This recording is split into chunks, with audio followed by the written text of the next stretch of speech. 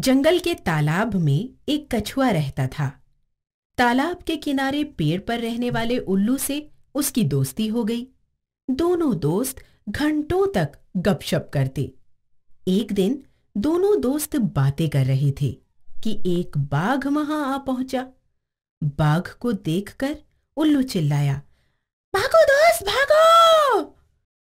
कछुआ भागा, पर अपनी धीमी चाल के कारण तालाब तक नहीं पहुँच सका। बाघ ने एक छलांग लगाई और कछुए को पंजे से दबोच लिया। फिर मुँह में पकड़ लिया। उसने सोचा आज तो बढ़िया दावत होगी। मगर ये क्या? पूरा ज़ोर लगाने पर भी कछुए का खोल नहीं टूटा। उसने दांतों और नाखूनों से कछुए को काटने की कोशिश की। पर कछुए के सख्त खोल पर एक भी खरोंच नहीं आई। बाघ बौखलाकर इधर उधर देखने लगा।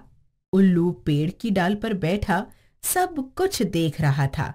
उसने बाघ से कहा, बाघ भाई, कछुए का खोल धूप में सूखकर सख्त हो गया है।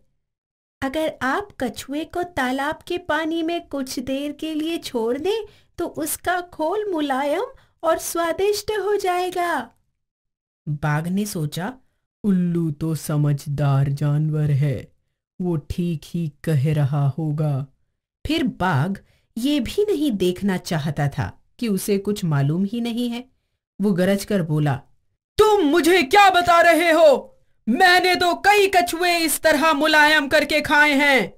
यह कहकर उसने कछुए को उठाकर पानी में फेंक दिया।